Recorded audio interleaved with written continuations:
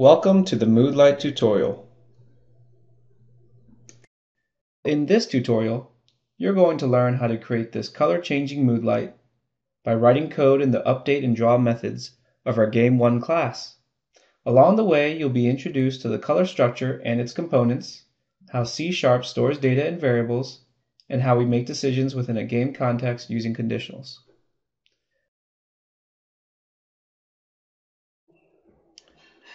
Let's start by opening up the Moodlight project from the previous lesson, in which we learned the basics of navigating Visual Studio, a little bit about C Sharp, and a little bit about the XNA framework. Over here, under Recent Projects, you can find Moodlight, so you can just click that right there if you want, or if it's not there, go to File, Open Project, and here I have Moodlight on my desktop. Open it up and double click on the solution. There we go. In XNA, all the project resources are wrapped up in something called a solution. And what you have here is the XNA game1.cs code template. And you see that there are multiple methods and summaries that I've already shrank. And so here they are. I shrank them because I'm not going to be using them right now. The one method I'm going to be using right now is the draw method. Here's the draw method. In the draw method, you see a statement, graphicsdevice.clear color.peru. This is the statement that controls the background color. Now remember, in the draw method, we display pictures, text, and other image-related content. So this statement fits within the context of the draw method. Remember that we can change the color by deleting the Peru part and the dot part pressing dot, and using IntelliSense to help us decide what other colors we'd like to see. Let's pick turquoise. That's always a nice color. Remember to run an XNA project, just press F5 or the start debugging play key right here. F5. Wow. That definitely is turquoise. Now to stop an XNA program, you can press stop right here, or you can just close the window. Let's just close the window. Color.turquoise is a value. Let's create a variable to represent the background color. Go to the draw method and right above graphicsdevice.clear, type in color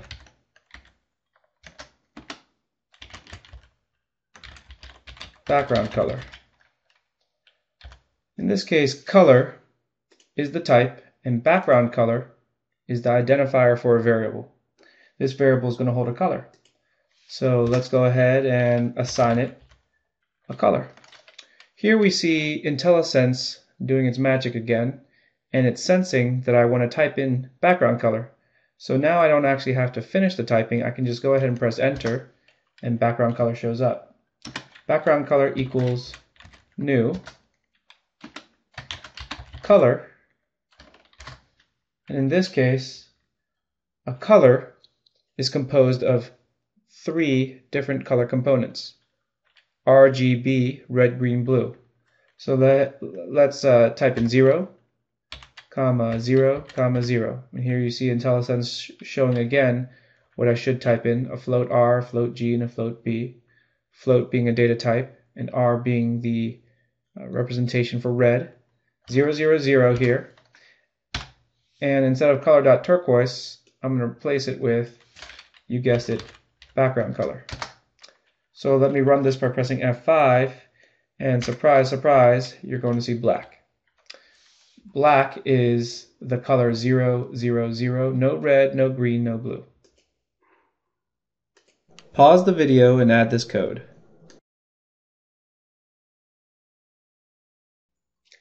Let's experiment a little bit with the red, green, and blue values. Each color component can hold a number between 0 and 255, basically 256 different values. So let's type in 255, 255, and keep the blue component 0. So basically full red, full green, no blue. Let's see what this looks like. All right, yellow. Cool. Let's try another one. What about 255, 255, 255? Guess what you'll see. It's white. So 000 is black and 255, 255, 255 is white. To create a mood light, we're going to need three color variables to represent red, green, and blue. Go to the top of the game class and right under sprite batch, create a comment, color variables. And this is where we're going to create our color variables. They're going to be of the data type byte. And let's make one for red intensity and set it to zero and go ahead and create the same types of variables but for green intensity set it to zero. And lastly blue intensity. Pause the video and add this code. And now down below instead of saying uh, putting in actual values here we're just going to put in red, green, and blue. Pause the video and add this code.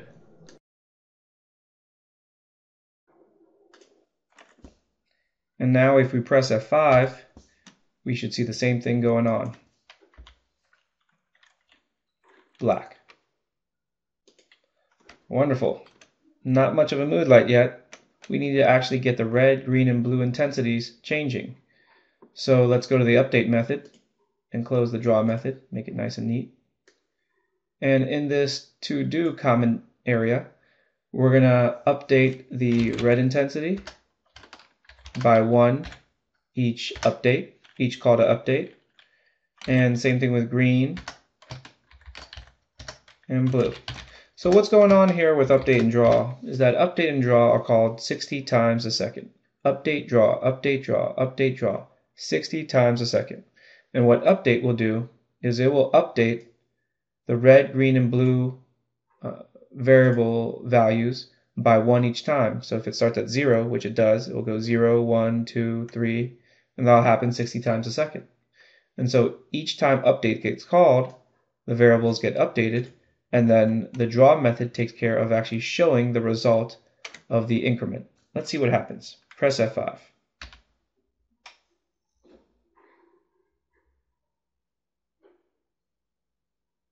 Hmm, interesting. Well, first off, it's only black and white.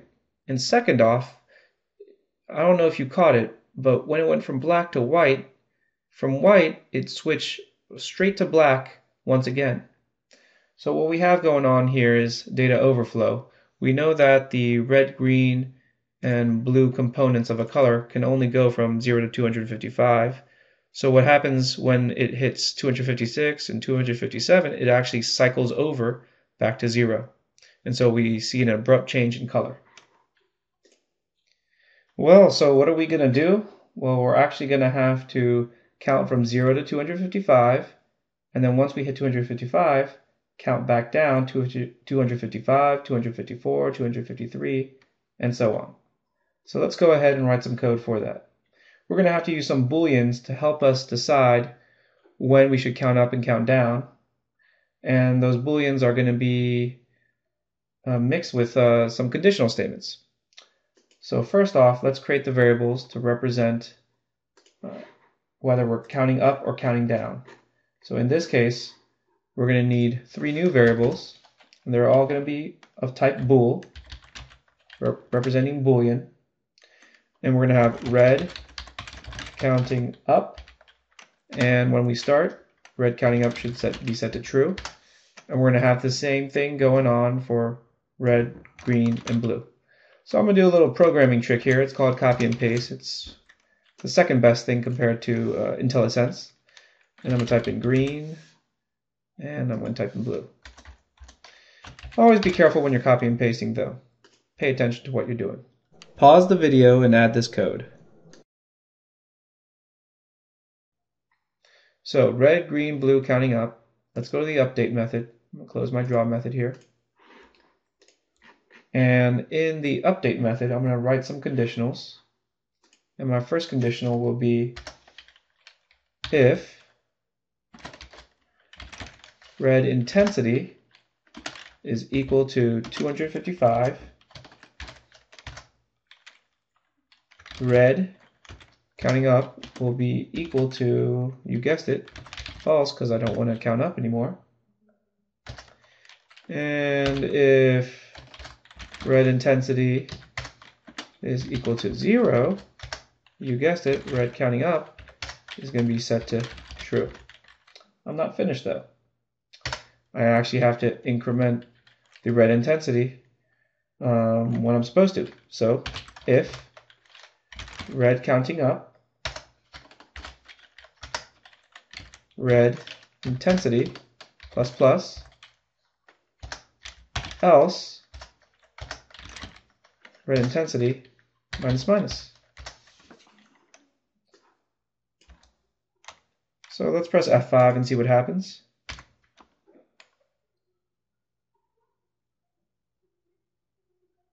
Hmm, okay. Obviously this isn't complete because I need to do the same thing with green and blue. So go ahead and do that and then we'll see a pretty cool mood light um, action going on. Pause the video and add this code. Alright, so we've changed the update code for the red, green, and blue intensities. Let's go ahead and see what it looks like. Okay, from black all the way to white, and oh nice, and it counts down, and then it counts back up. No abrupt change. Sweet, kinda. There's still no color. So, the reason why this is, is because the values start at 0, 0, 0, and then they all go to 1, 1, 1, and then 2, 2, 2. And what happens is, whenever red, green, and blue are the exact same colors, we just get a shade of gray.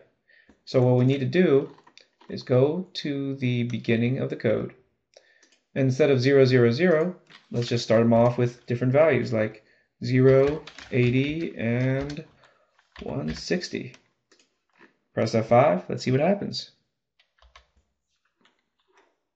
Okay, I think we got something going on here. Orange to purple to blue again to green to orange to purple to blue to green to orange. Wait a second. This mood light's not really changing its pattern. It's just the same pattern over and over again. I think there's more we need to do. And that's what's up to you.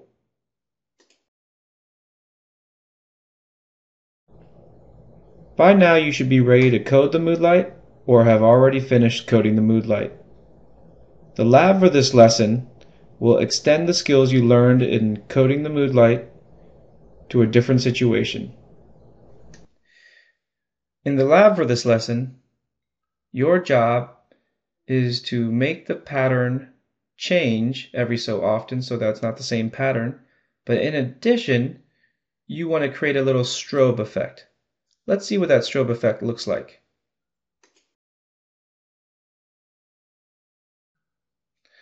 Woo! Oh yeah! This is the techno mood light. What you see going on here is that the pattern is changing.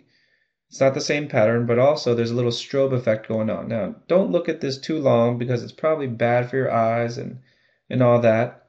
But um, this would be great for a little dance party. You know, I'm feeling a little dancey right now. All right, now go ahead and make this.